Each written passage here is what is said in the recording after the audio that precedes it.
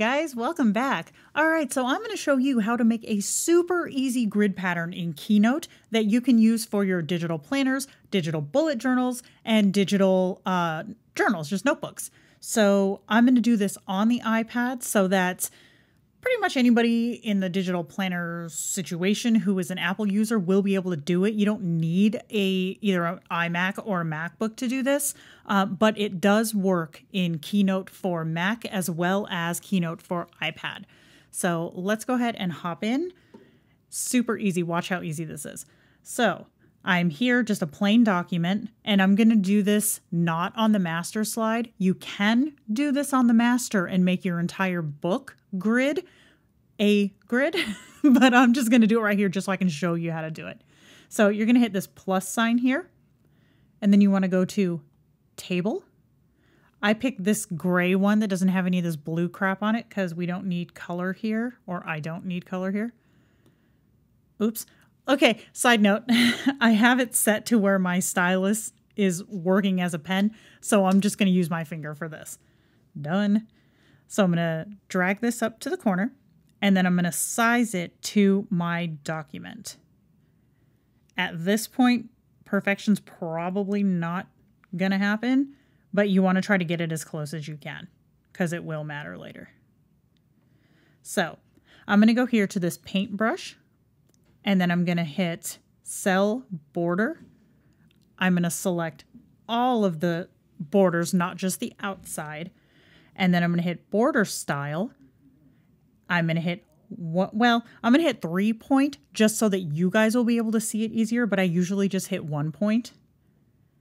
And then color, I'm going to change to black again so that you guys can see it, not because that's how I would do it. So then you want to go over here and add until it's filling up your space. And you can make them long columns, whatever. I try to get them as close to squares as I can because I'm, I'm kind of crazy like that. But um, so you see how now we have these alternating colors in here. We don't want that. So I'm going to tap this circle to select the entire grid. And then I'm going to go to table. Alternating rows, I'm going to turn off.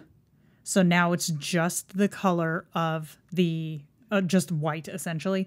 You can also go over here to cell, cell fill, no fill. Now, visually, that didn't make any difference, but there's two instances where you will see a difference. Number one is if you have colored or patterned paper under this grid.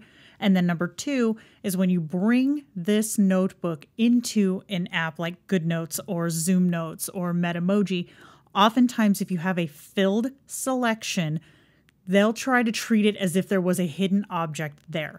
So usually to insert an image, you would like long press with your stylus and then hit paste or insert from or whatever, if you have this here filled with white, then sometimes it'll like highlight just where the grid is. You can still paste or insert from with it doing that, but it's really annoying when it does it.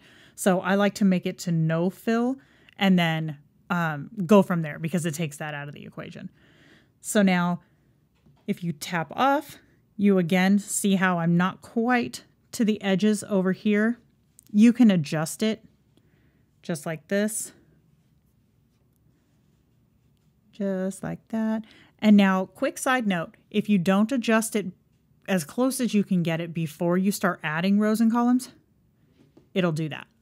So you want to get it as close as you can so that when you're adding your rows and columns, you're not having to add them twice because it wasn't sized correctly. So that's it. That is how you would add this to your Keynote file. Now, real quick, I'm going to show you what it would look like if I did it the way that I would actually want it because these really dark colors are making my eyes twitch. I would go back in here to border, select all. Color, I would probably do this soft gray.